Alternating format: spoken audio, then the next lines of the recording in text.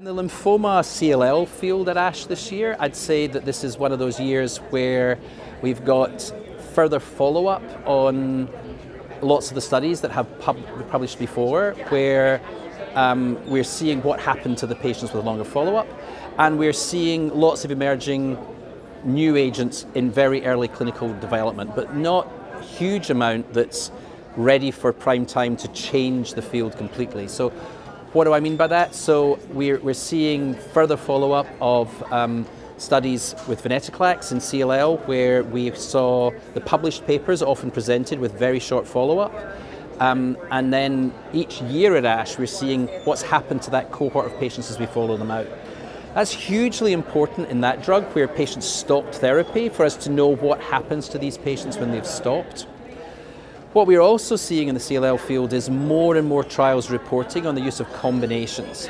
And what's very clear in all of the studies that we're seeing presented in this way, that people are looking at fixed durations of therapy to stop the drugs. It's important for two reasons. It decreases the long-term cost, but what is clear is we're using our most effective agents together in driving these really deep responses and looking at minimal residual disease and how important that is to be able to have patients eradicated.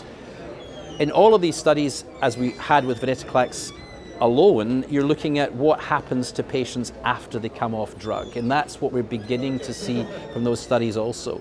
So the concept that you're able to drive CLL patients into deep remissions with new agents is, is there.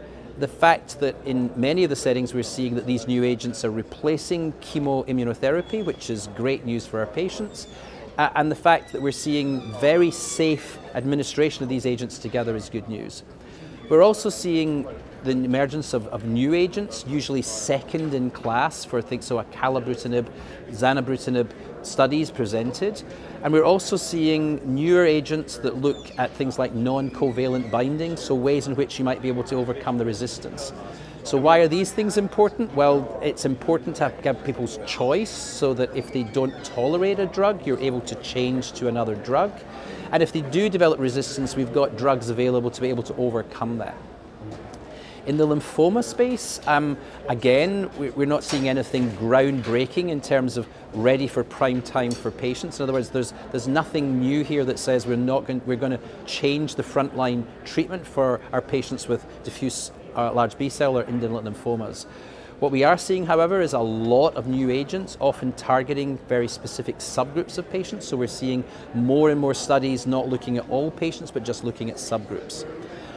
A lot of excitement still about the, the CAR T cell field. What we're seeing at this ASH is again the follow-up studies on the diffuse large B-cell lymphoma showing that those plateaus look very stable and that we're really talking about curative intent in diffuse large B-cell lymphoma. But here we're also seeing studies in follicular lymphoma, mantle cell lymphoma, CLL, widening the, the scope of CAR T cells into the other patients with the lymphomas. We've always known uh, from the studies that have been done before that these were going to be effective in this setting, but of course we didn't have a license. What all of us are waiting for is for these agents to be available to treat patients who are running into problems with other histologies other than diffuse large B-cell lymphoma.